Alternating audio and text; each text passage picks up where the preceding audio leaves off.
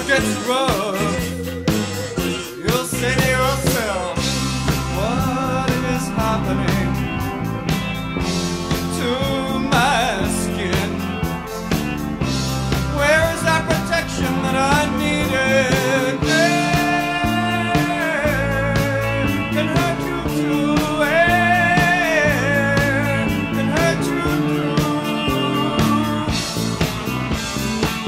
Some people say not to worry about the end.